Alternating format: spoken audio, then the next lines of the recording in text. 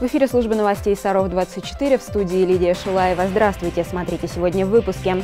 Нарушил плати. Патрульные машины саровских ДПС оборудовали мобильными терминалами безналичной оплаты штрафов. Признание талантов в Саровском драматическом театре наградили одаренных школьников и студентов. Долгожданная победа. Саровчане заняли первое место в региональном этапе школьной баскетбольной лиги «Тест-баскет». Далее расскажем обо всем подробно.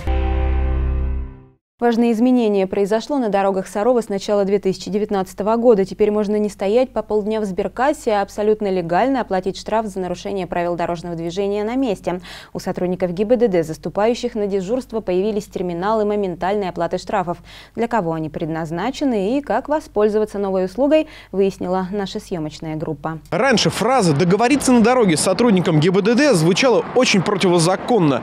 Теперь все совершенно официально и согласно законодательству законодательству Российской Федерации благодаря вот такому вот аппарату. Функция у терминала безналичной оплаты такая же, как в любом магазине, с той лишь разницей, что предназначен он специально для оплаты штрафов. Это означает, что только что выписанный сотрудниками ГИБДД протокол можно сразу же оплатить. Для удобства сразу вы, выходит две квитанции. Одна квитанция прилагается к постановлению, которое выносит инспектор, вторая квитанция выдается обязательно нарушителю. При оплате штрафов через эти терминалы также действует льготный период и есть возможность погасить их с 50% скидкой. Так же, как и в банке, есть комиссия 20 рублей, но есть и огромный плюс этого нововведения? Вы не затратите свое время, не бегаете по кредитным организациям, в связи с этим оплачиваете здесь, и оплата сразу же проходит. Но в связи с тем, что у нас в день в день все это происходит, на госуслугах уже штраф получается оплаченный и не горит красненьким. Оплатить на дороге можно любые штрафы, выписанные в любом регионе. Для этого необходимо просто остановиться возле патруля на дороге, попросить терминал для оплаты и предоставить уникальный номер постановления, так называемый УИН, и иметь на руках карту безналичной оплаты. Займет это около двух минут, а главное, можно быть уверенным, что оплата пройдет в полном объеме и точно в срок. Кирилл Васенин, Артемий Глазков, Сергей Рябов.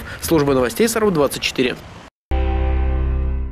Свой 90-летний юбилей отметила саровчанка, ветеран Великой Отечественной войны, ветеран труда Вера Ивановна Чеблукова. В страшные военные годы Вера Ивановна принимала участие в обороне города Горького. В честь юбилея ветерану вручили благодарственное письмо от главы города за преданность родине и мужество, проявленное в годы Великой Отечественной войны, а также за многолетний добросовестный труд.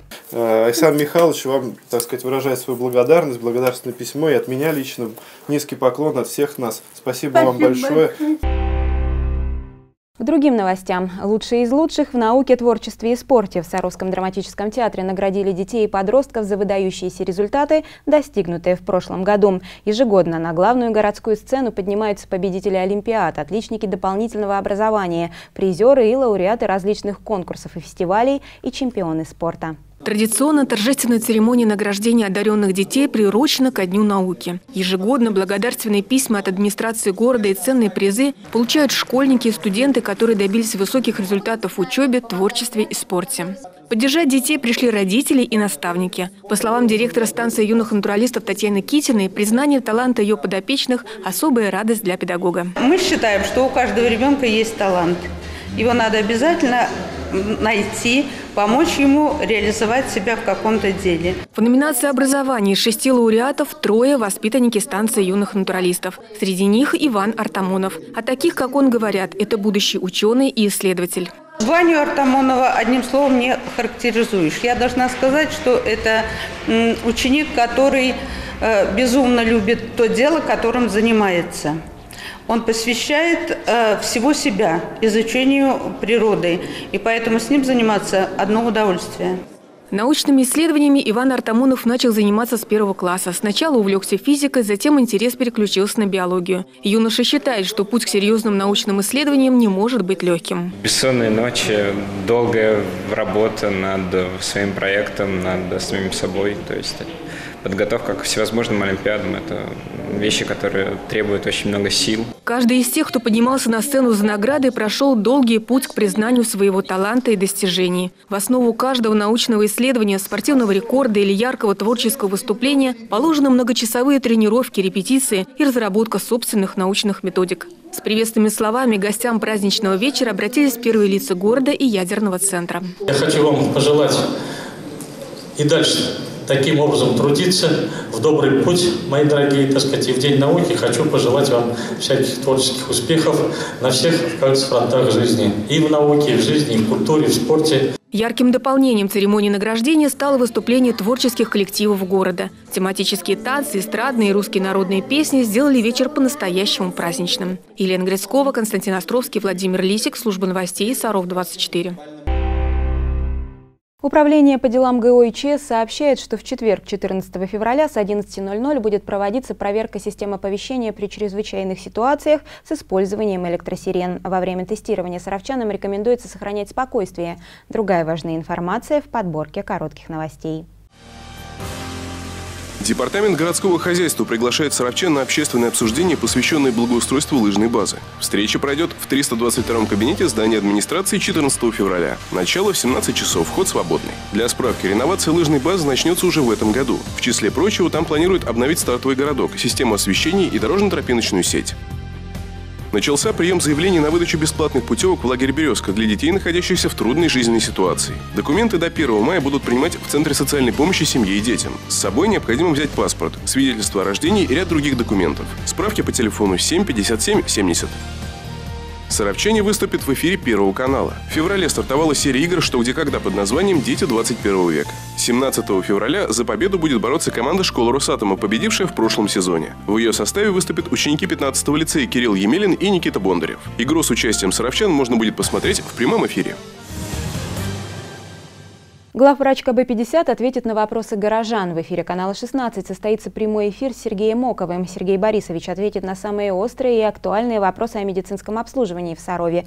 Если вам есть что спросить, звоните по телефону редакции. Подробности далее. В конце января на канале 16 состоялось интервью с главой города в прямом эфире. Тогда свои вопросы смогли задать несколько десятков саровчан. На те вопросы, что не прозвучали в эфире, Александр Тихонов готовит письменные ответы. В ближайшее время мы опубликуем их в нашей официальной группе ВКонтакте, а также на сайте sarov24.ru. Было много отзывов и вопросов в прямой эфир, поэтому мы решили не откладывать в долгий ящик и организовать очередное интервью в прямом эфире. На этот раз гостем студии станет главный врач КБ-50 Сергей Оков. 19 февраля в прямом эфире в рамках программы «Актуальное интервью» он ответит на все ваши вопросы. Мы уже принимаем вопросы по телефону редакции 601-31. Этот же номер будет доступен и во время прямого эфира. Почему именно Сергей Борисович? Э, нам очень часто звонят в редакцию с вопросами по качеству медицины, по медицинскому обслуживанию.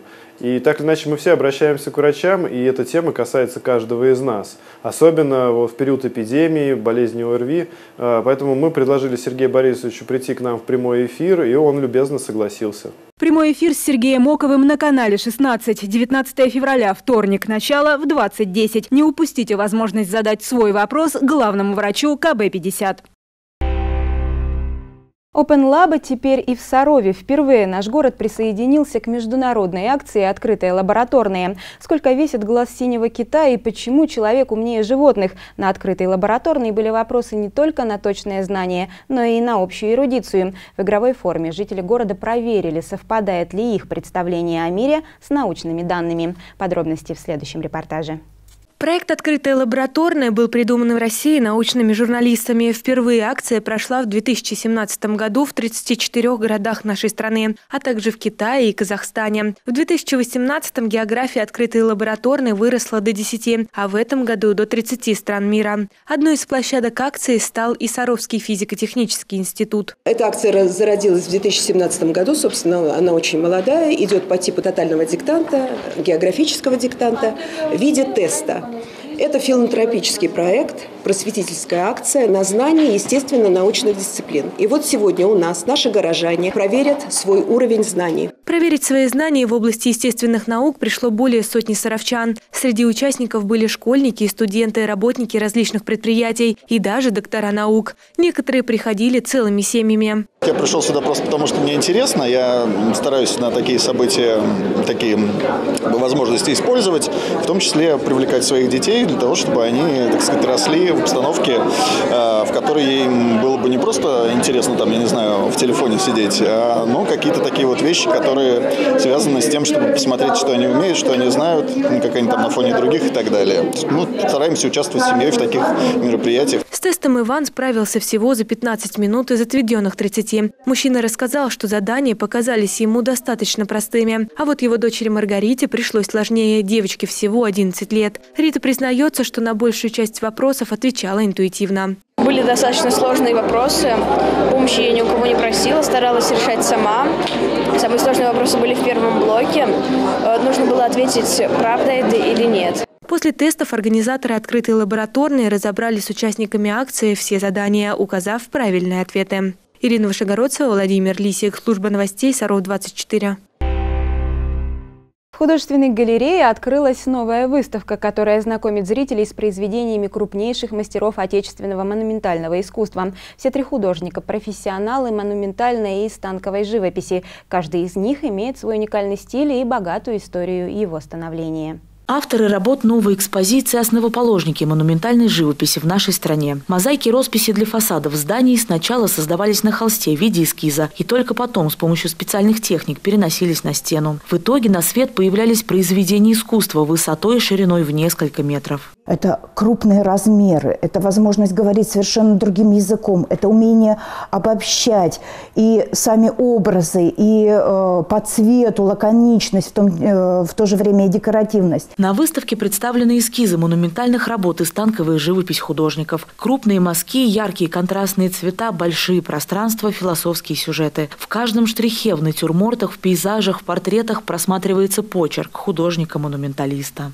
Это лицо эпохи, это целая эпоха фактически. То есть сегодня мы с вами прикасаемся, да, в станковой живописи. Это достаточно крупные выставочные работы с э, такими серьезными э, темами. Народный художник России Игорь Пчельников не любит загонять свои работы в какие-либо рамки. Поэтому мастер старается придумать для своих произведений оригинальное оформление. Объемные элементы художники добавляют и в эскизы монументальных полотен. Человек, который попадет э, на выставку, мне кажется, что он сразу сразу погрузиться э, в эпоху вот этой монументальной живописи.